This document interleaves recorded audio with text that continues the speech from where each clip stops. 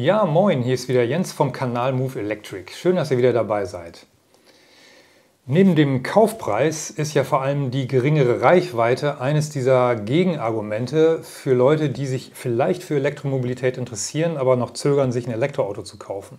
Das heißt, die Preise sind im Prinzip immer zu teuer und die Reichweite ist viel zu gering. Gut, bei den Kosten wurde jetzt massiv nachgesteuert. Da gibt es jetzt ziemlich hohe Förder, Fördersummen. Das heißt, die, die Einstiegspreise für ein Elektroauto sind teilweise unterhalb eines vergleichbaren Verbrenners im Moment. Deswegen findet momentan auch ein relativ großer Run auf Elektroautos statt. Einige Modelle sind tatsächlich ausverkauft oder monatelang nicht lieferbar. Aber mit der Reichweite, da hapert es zumindest gefühlt bei vielen Leuten noch. Wobei es eigentlich ja so ist, dass jeder Deutsche statistisch gesehen nur 40 Kilometer am Tag Reichweite benötigt. Das ist Fahrten zur Arbeit, Fahrten zum Einkaufen, äh, zum Sport, in, dieser, in der Gegend herumfahren. Und das macht insgesamt statistisch gesehen nur 40 Kilometer am Tag aus. Das heißt, Reichweite wird doch ein bisschen überschätzt. Aber wie ist denn das? Was kostet mich denn überhaupt der Kilometer Reichweite bei den aktuell verfügbaren Elektroautos? Diese Frage habe ich mir mal gestellt und ich habe jetzt hier eine Liste zusammengestellt von 31 aktuell verfügbaren Elektroautos. Wie ist da das Verhältnis von Kosten zu Reichweite? Das ist eine ziemlich interessante Statistik, deswegen bleibt dran.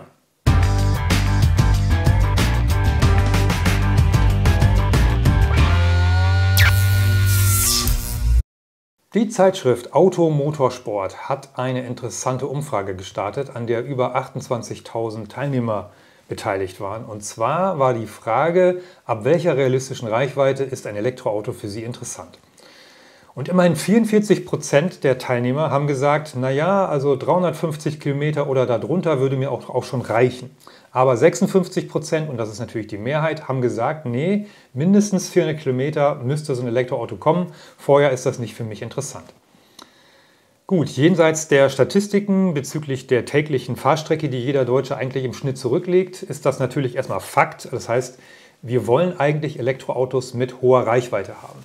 Aber hohe Reichweite heißt natürlich auch große Batterien. Und dann heißt es natürlich, die Autos werden automatisch teurer. Es gibt natürlich Autos, die auch mit kleineren Batterien ziemlich weit kommen. Genauso gibt es Autos, die mit großen Batterien gar nicht so weit kommen, wie man eigentlich erwarten würde. Das heißt, wir müssten eigentlich mal gucken, was kostet mich eigentlich der Kilometer Reichweite bei den verschiedenen Modellen, die es heute im Jahr 2020 so auf dem Markt gibt. Und diese Statistik habe ich mir mal erstellt ähm, und zwar äh, anders als Robin von Robin TV es gemacht hat. Schöne Grüße an dieser Stelle. Er hat halt nur die Fahrzeuge genommen, die über 400 Kilometer kommen. Ich habe mir mal so eine, so eine Art Marktüberblick verschafft, also von allen Elektroautos, die es momentan so auf dem Markt gibt. Und eine Tabelle erstellt, was kostet denn der Kilometer Reichweite? Und da kommen sehr interessante Werte dabei raus. Ähm, ich bin so vorgegangen, dass ich mir den Listenpreis genommen habe, den ich auf den Herstellerseiten gefunden habe. Und dann habe ich dann schon die Förderung abgezogen. Das heißt, das ist natürlich auch für, jeden, für jedes Auto unterschiedlich. Die einen Autos haben die volle Förderung, andere Autos haben nur die mittlere Förderung und einige, die zu teuer sind, haben gar keine Förderung. Das heißt also, ich habe den Preis, den man wirklich als Kunde bezahlt, versucht zugrunde zu legen und dann die WLTP-Reichweite genommen, denn ich muss ja irgendeine genormte Größe haben. Das heißt, die WLTP-Reichweite, die von jedem Hersteller als Normreichweite für das spezielle Auto angegeben wird. Klar, wir wissen, dass tatsächlich im realen Leben die WLTP-Reichweite nur von wenigen Autos wirklich erreicht wird, aber ich muss eine genormte Größe haben, sonst hat das irgendwie keinen Sinn. So, und dann kommt natürlich eine Tabelle raus und eine Rangfolge von 31 Autos, die ich genommen habe. Und die ist ziemlich interessant und da steigen wir doch jetzt gleich mal ein. So, es ist nicht verwunderlich. An letzter Stelle Platz 31 der Porsche Taycan Turbo S. Er ist natürlich mit dem Listenpreis von über 180.000 Euro und der WLTP-Reichweite von 412 Kilometer am ja, uneffektivsten, was den Euro pro Kilometer angeht. Da liegen wir nämlich bei 439 Euro, den man pro Kilometer Reichweite berappen muss. Die beiden Brüder Taycan Turbo und Taycan 4S folgen danach. Ähm, die sind natürlich deutlich günstiger. Das heißt, der Euro pro Kilometer sinkt jetzt plötzlich drastisch. Beim 4S liegt er nur noch bei 253 Euro pro Kilometer Reichweite. Als nächstes, Platz 28, kommt der e-tron 50 mit seinen 70.000 Euro rund äh, und 339 Kilometer Reichweite ist sein Wert pro Kilometer bei 207 Euro. Danach der Audi Sportback 55 und der e-tron 55, die liegen relativ dicht beieinander. Äh, der e-tron 55 ist dann bei 183 äh, Euro pro Kilometer. Dann kommt schon der erste Tesla, nämlich das Model X auf Platz 25 bei dem Preis von rund 85.000, 86.000 Euro, Liste 507 Kilometer Reichweite, kostet mich der Kilometer 170 Euro. Jaguar I-Pace auf Platz 24, da kostet mich der Kilometer Reichweite 160 Euro. Dann der neue BMW i3X, gerade eben vorgestellt, hat einen relativ teuren Einstiegspreis und 450 Kilometer angegebene Reichweite, macht 151 Euro, damit auf Platz 23. Platz 22, der Mercedes EQC, 471 Kilometer soll er weit kommen, 148 Euro pro Kilometer würde mich das kosten.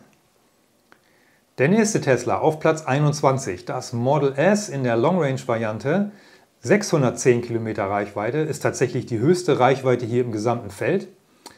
Da der Preis aber relativ hoch ist, muss man immer noch 131 Euro pro Kilometer Reichweite berappen, deswegen Platz 21. Platz 20, der erste Kleinwagen und damit ganz schön übel, dass er so weit oben steht oder auch unten, je nachdem von wem man es betrachtet, von welcher Seite man das betrachtet, der Honda E der Listenpreis ist ähm, ja, relativ hoch für so einen Kleinwagen, aber die Reichweite ist dann auch wieder gering. 220 Kilometer WLTP macht 109 Euro, den man pro Kilometer Reichweite bezahlen muss. Danach folgt schon das Tesla Model Y, Platz 19, gibt es noch nicht in Deutschland, aber ab nächstem Jahr, deswegen ist es hier auch schon mit drin. Hat 505 Kilometer Reichweite und die bezahlt man mit 106 Euro pro Kilometer. Platz 18, der Polestar 2, ist jetzt relativ günstig zu haben, dank Förderung 470 Kilometer angegebene Reichweite und da liegen wir jetzt schon unter 100 Euro pro Kilometer, nämlich bei 98 Euro pro Kilometer Reichweite. Platz 17, Tesla Model 3 Standard Range. Ja, unter 40.000 Euro der Preis, 409 Kilometer Reichweite, Daher 98 Euro, also gleich auf mit dem Polestar. Hier kommen die Platzierungen durch äh, Werte hinter dem Komma zustande. Die habe ich hier nicht mehr aufgelistet. Platz 16, Hyundai Ioniq. Mittlerweile doch für rund 25.000 Euro zu bekommen, laut Liste und Förderung. 280 Kilometer angegebene WLTP-Reichweite macht 91 Euro pro Kilometer Reichweite. Da hätten wir doch irgendwie gedacht, also ich zumindest, dass der doch besser platziert ist. Platz 15, Mini SE Electric. 250 Kilometer angegebene Reichweite macht auch 91 Euro, unterscheidet sich über die Kommastellen von dem Ionic, deswegen ein bisschen besser platziert. Das nächste Tesla-Modell, Tesla Model 3 Long Range, 560 Kilometer Reichweite und daher nur 88 Euro pro Kilometer bei dem angegebenen Preis. Der kleinste von allen, oder naja, fast der kleinste von allen, Smart EQ 44. Preislich ist er ja in ganz attraktiven Regionen mittlerweile, aber nur 150 Kilometer Reichweite. Deswegen ist er fast so teuer, was den Kilometer angeht, wie ein Tesla Model 3, nämlich 87 Euro pro Kilometer Reichweite. Platz 12, BMW i3. 359 Kilometer Reichweite angegeben, 81 Euro kostet mich das pro Kilometer. Platz 11 Nissan Leaf, 62 Kilowattstunden und hat 385 Kilometer Reichweite, macht 76 Euro pro Kilometer. Jetzt kommen wir in die Top 10 und da ist der ID3 äh, 400 Kilometer angegeben und 75 Euro wird mich das kosten pro Kilometer, macht zusammen knapp unter 30.000 Euro. Platz 9, Hyundai Kona, 64 Kilowattstunden, rund 31.000 Euro kostet er äh, mit Förderung, 484 Kilometer Reichweite hat er, was am Ende 66 Euro pro Kilometer Reichweite ausmacht, die man bezahlen muss. Platz 8 Kia e-Niro, 64 Kilowattstunden, knapp unter 30.000 Euro Einstiegspreis, 455 Kilometer WLTP-Reichweite, macht 64 Euro pro Kilometer Reichweite. Skoda Citigo E, rund 15.000 Euro soll er jetzt kosten, 252 Euro, äh, Kilometer Reichweite WLTP und 62 Euro pro Kilometer wäre dann der Endstand. Platz 7. Platz 6 Kia e-Soul. 27.000 Euro rund der Einstiegspreis, 452 Kilometer WLTP, macht auch 62 Euro pro Kilometer. Peugeot E208 kostet in der Basisversion rund 20.000 mittlerweile, 340 Kilometer Reichweite angegeben und er liegt knapp drunter unter dem Kia, nämlich 61 Euro pro Kilometer Reichweite.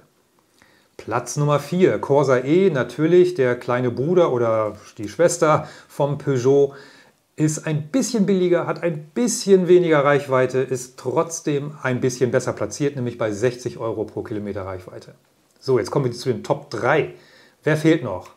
Renault Zoe, ZE50 Live ab 21.000 Euro und äh, Renault gibt ja sogar noch ein bisschen mehr Rabatt. Deswegen ist das hier so günstig. Das ist natürlich inklusive Kaufbatterie, also ohne Batteriemiete, sondern mit gekaufter Batterie. 395 Kilometer angegebene Reichweite macht zusammen 54 Euro pro Kilometer Reichweite. Platz Nummer 2 VW E-Up 12.000 Euro rund der Einstiegspreis, 260 Kilometer Reichweite angegeben, macht zusammen 48 Euro pro Kilometer Reichweite. Und jetzt Platz Nummer 1. Es ist der Seat Mi Electric. Knapp 11.000 Euro kostet er, auch 260 Kilometer Reichweite. Das heißt, er ist ein bisschen günstiger als der E-Up. Von daher logischerweise Platz 1. Hier zahlt man pro Kilometer Reichweite 43 Euro. Ja, das war also erstmal die Statistik. Natürlich traue keiner Statistik, die du nicht selber gefälscht hast. Ich habe sie natürlich nicht gefälscht, sondern sie ist von mir so errechnet worden. Interessante Werte, also die Diskrepanz zwischen dem Seat Mi Electric und dem Porsche Taycan. Der Porsche Taycan ist fast, äh, kostet fast zehnmal mehr pro Kilometer Reichweite als ein Seat Mi Electric. Ja, natürlich ist, das, ist der Porsche äh, auch ein zehnmal besseres Auto, ja, das würde ich nicht sagen, ein ganz anderes Auto. Es ist ein Sportwagen einer Luxusmarke und der Seat Mi Electric, natürlich ist es ein Kleinwagen der günstigsten Klasse. Und für Leute, die sich aber nur einen fahrbaren Untersatz kaufen möchten, ist es natürlich interessant zu schauen, wie viel muss ich bezahlen, um möglichst weit zu kommen. Und einen Screen habe ich noch zum Schluss, nämlich das Verhältnis von WLTP-Reichweite zu Euro pro Kilometer. Und da kommt nochmal eine etwas andere Reihenfolge raus. Und hier ist ein ganz klarer Sieger der Hyundai Kona 64 Kilowattstunden und die Renault Zoe und der Kia e-Soul. Die liegen alle drei quasi bei einem gleichen Quotient von 7,3. Das heißt, hier bekomme ich im Prinzip für mein Geld die meiste Reichweite. Und äh, die anderen Plätze könnt ihr hier dann sehen. Äh, der Porsche Taycan bleibt Schlusslicht äh, mit 0,9. Das heißt, da kann man leider nichts dran rütteln. Wer so teuer ist, der muss halt damit leben, dass er am Ende steht, was diese Statistik angeht. Dafür hat der Porsche natürlich ganz andere Qualitäten und steht an vielen Statistiken auf Platz 1, aber für den Euro pro Kilometer hat er leider gar keine Chance. So, das waren also meine statistischen Werte, die ich für euch jetzt mal zusammengestellt habe. Welchen Wert hat das jetzt? Naja, also vielleicht kann sich der ein oder andere mal überlegen, wie viel er jetzt eigentlich für sein Auto bezahlt, wenn er das mal auf den Kilometer Reichweite hochrechnet und ob er das dann noch gut findet. Vielleicht ändert sich ja die ein oder andere Kaufentscheidung dadurch. Ich hoffe, das Video hat euch gefallen. Wenn ja, dann gebt mir natürlich einen Daumen nach oben und abonniert meinen Kanal. Und ich würde mich freuen, wenn ihr beim nächsten Mal wieder dabei seid. Bis dahin, macht's gut. Ciao.